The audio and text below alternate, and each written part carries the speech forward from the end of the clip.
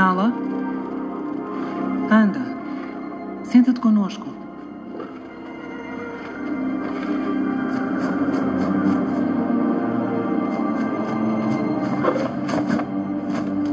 Zazu, onde é que estiveste?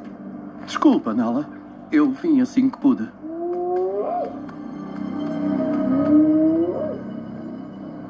Notícias da manhã, Zazu. Majestade, as terras do reino correm perigo iminente. As hienas estão a perseguir o último rebanho. Arara voltou! Atrás dele!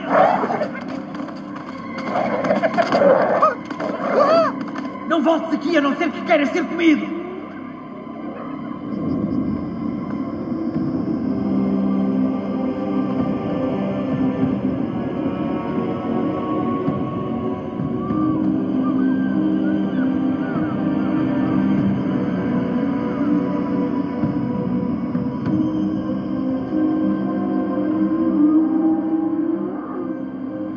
Temos de fazer alguma coisa, Sarabi.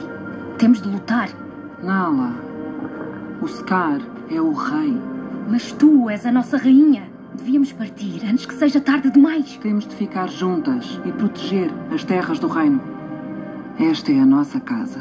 Por isso nunca devemos abandoná-la. Esta não é a casa de que me lembro. O nosso tempo vai chegar, Nala. Sê paciente. Sarabi? O rei quer falar contigo. Não vás. Eu não tenho medo dele.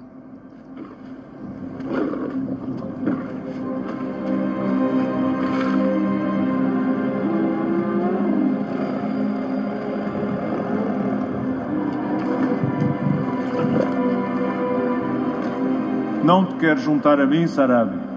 Chega para toda a gente. Estás a caçar demais, Scar.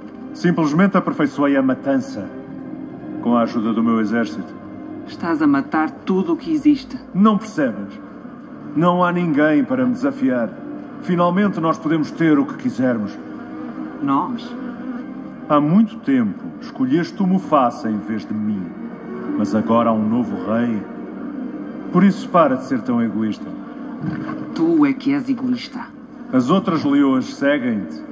Enquanto resistires, vão rejeitar-me.